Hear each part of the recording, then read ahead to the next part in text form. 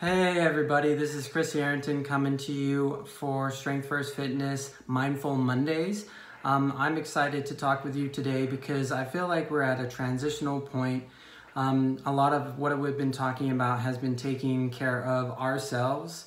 Um, and today I want to talk a little bit more about taking care of others um, and supporting others.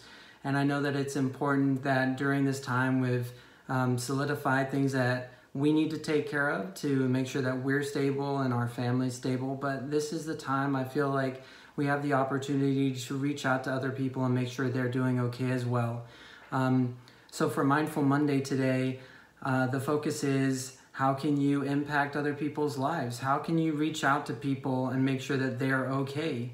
Um, you never know what's going on, whether it's someone is struggling with being stuck at home indoors and not being able to go out, or whether it's somebody lost their job, or you know it's just hard being at home because there's there's too little space and there's too many people. Whatever it is, um, the big thing that I think would be really helpful is if you picked up that phone and you made one or two extra calls um, just to check in with people that maybe you've been thinking about but haven't been able to check in with recently.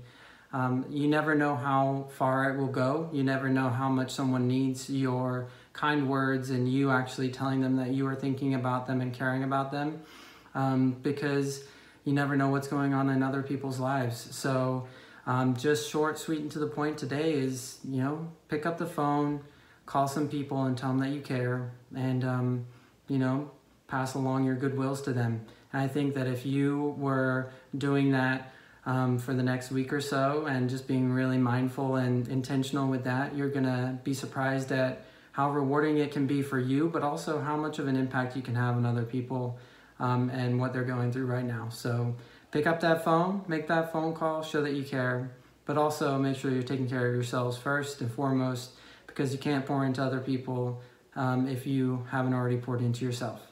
So take care of yourselves, and I'll uh, I'll see you later in the week for Fitness Fridays. All right, bye for now.